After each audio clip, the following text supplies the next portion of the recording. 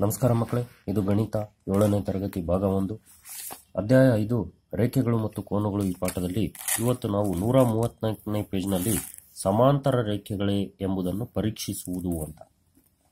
ಈಗ ಎರಡು ಸಮಾಂತರ ರೇಖೆಗಳನ್ನು ಒಂದು ಛೇದಕ ಛೇದಿಸಿದಾಗ ಅನುರೂಪ ಕೋನಗಳ ಜೋಡಿ ಸಮ ಇರುತ್ತೆ.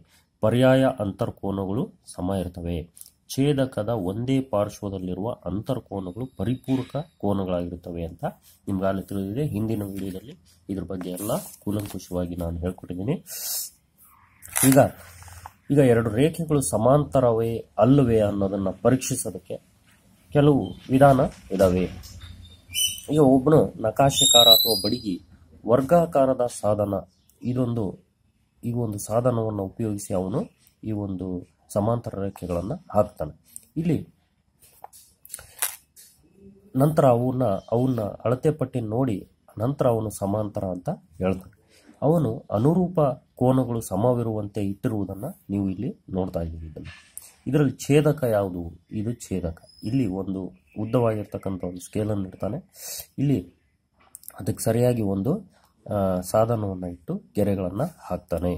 ಅವನು ಈಗ ಈಗ ಒಂದು ಛೇದಕವು ಎರಡು ರೇಖೆಗಳನ್ನು ಛೇದಿಸಿದಾಗ ಉಂಟಾಗುವ ಅನುರೂಪ ಕೋನ ಅನುರೂಪ ಕೋನಗಳ ಜೋಡಿ ಸಮವಿದ್ದಾಗ ಆ ಎರಡು ರೇಖೆಗಳು ಪರಸ್ಪರ ಸಮಾಂತರವಾಗಿರುತ್ತವೆ.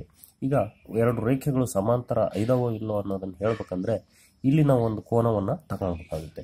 ಇಲ್ಲಿ ಇವೆರಡು ಸಮ ಇವೆರಡು ಸಮ ಸಮ ಇದ್ದಾಗ ಈ ಈ ಎರಡೂ ರೇಖೆಗಳು ಸಮಾಂತರ ರೇಖೆಗಳು ಅಂತಂದೇಳಿ ನಾವು ಹೇಳ್ಬೋದು. ಆಮೇಲೆ ಈ ಝಡ್ ಅಕ್ಷರವನ್ನು ಗಮನಿಸಿ. ಇವೆರಡೂ ಕೋನಗಳು, ಪರ್ಯಾಯ ಕೋನಗಳು ಅಂತಾರೆ, ಪರ್ಯಾಯ ಅಂತರ್ಕೋನಗಳು ಅಂತಾರೆ. ಇವೆರಡೂ ಕೋನಗಳು ಸಮ ಇದ್ದಾಗ ಈ ಒಂದು ಎರಡೂ ರೇಖೆಗಳು ಸಮಾಂತರವಾಗಿರುತ್ತವೆ.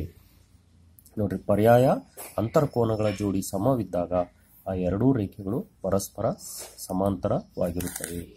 ಈಗ ಒಂದು ಸರಳ ರೇಖೆ ಎಲ್ಗೆ ಎಂ ರೇಖೆ ಲಂಬವಾಗಿ ಎಳೆದು ಇನ್ನೊಂದು ಎಂ ರೇಖೆಗೆ ಪಿ ರೇಖೆ ಲಂಬವಾಗಿ ಎಳೆಯೋಣ. ಅಂದರೆ ಇದು ತೊಂಬತ್ತು ಡಿಗ್ರಿಯಲ್ಲಿ ಎಳೆಯೋಣ, ಇದು ತೊಂಬತ್ತು ಡಿಗ್ರಿಯಲ್ಲಿ ಎಳೆಯೋಣ.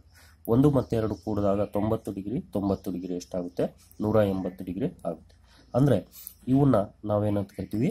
ಈ ಛೇದಕ ಅಂತ ಕರಿತೀವಿ. ಛೇದಕದ ಒಂದೇ ಪಾರ್ಶ್ವದಲ್ಲಿರ್ತಕ್ಕಂಥ ಎರಡು ಕೋನಗಳು ಸೇರಿಸಿದಾಗ ನೂರ ಎಂಬತ್ತು ಡಿಗ್ರಿ ಆದರೆ ಇವೆರಡೂ ರೇಖೆಗಳು, ಸಮಾಂತರ ರೇಖೆಗಳು ಅಂತಂದೇಳಿ ನಾವು ಹೇಳ್ಬೋದು. ಅಂದರೆ ಒಂದು ಒಂದು ಎರಡು ರೇಖೆ ಸಮಾಂತರವೋ ಅಲ್ವೋ ಅನ್ನೋದನ್ನ ನಾವು ಟೆಸ್ಟ್ ಮಾಡೋಕ್ಕೆ ಮೂರು ವಿಧಾನ ಇದಾವೆ. ಒಂದು, ಅನುರೂಪ ಕೋನಗಳು ಸಮ ಇದ್ದರೆ ಅವೆರಡು ರೇಖೆಗಳು ಸಮಾಂತರ.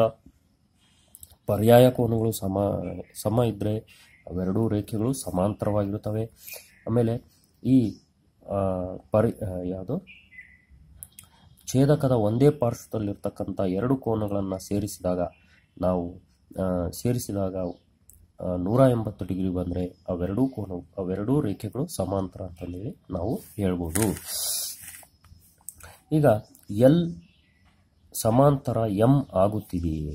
ಎಲ್ ಮತ್ತು ಎಂ ಸಮಾಂತರ ಅಂತ ಹೇಳ್ಬೋದಾ ಅಂತ ಕೇಳಿದ ಇಲ್ಲಿ ನೋಡ್ರಿ, ಇಲ್ಲಿ ಇವೆನ್ ಇವೆಂಥ ಕೋನಗಳು? ಪರ್ಯಾಯ ಕೋನಗಳು ಸಮ ಇದಾವೆ ಇದು ಐವತ್ತು ಡಿಗ್ರಿ, ಇದು ಐವತ್ತು ಡಿಗ್ರಿ. ಸಮ ಇರೋದ್ರಿಂದ ನಾವು ಸುಲಭವಾಗಿ ಹೇಳ್ಬೋದು, ಎಲ್ ಮತ್ತು ಎಂ ಇವು ಸಮಾಂತರ.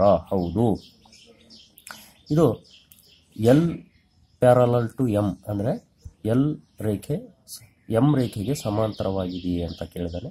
ಇಲ್ಲಿ ಐವತ್ತು ಡಿಗ್ರಿ, ಇದು ಪರ್ಯಾಯ ಕೋನ ಐವತ್ತು ಡಿಗ್ರಿ ಆಗುತ್ತೆ.